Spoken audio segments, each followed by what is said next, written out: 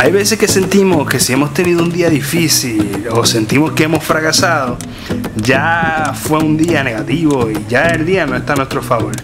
Pero el detalle es que estamos viviendo nuestros problemas de una forma equivocada. Estamos viéndolos, pues, con la otra cara. Pero ¿qué pasa si te digo que si no hubiésemos tenido ese tipo de día, no hubiésemos aprendido nada? Todo lo negativo que nos pasa de alguna forma es positivo. Positivo porque a través de nuestros problemas adquirimos destrezas y habilidades que nos ayudan a solucionar lo negativo en nuestra vida.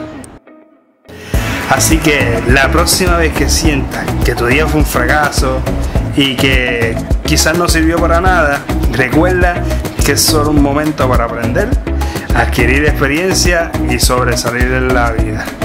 Así que nada, te veo. Bye.